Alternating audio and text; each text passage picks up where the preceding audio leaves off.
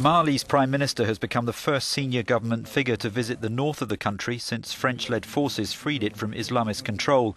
Visiting a hospital in Gao, the region's largest town, Diango Sissoko promised elections this summer despite fears that preparations won't be completed, bringing the risk of further unrest. There's no question the elections will take place in July, he said. All necessary steps are and will be taken.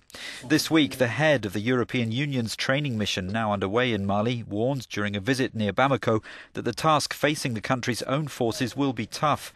Despite the presence of thousands of African troops, the north remains vulnerable to rebel attacks. France, which plans to withdraw most of its troops by the end of the year, has been pushing for elections in three months.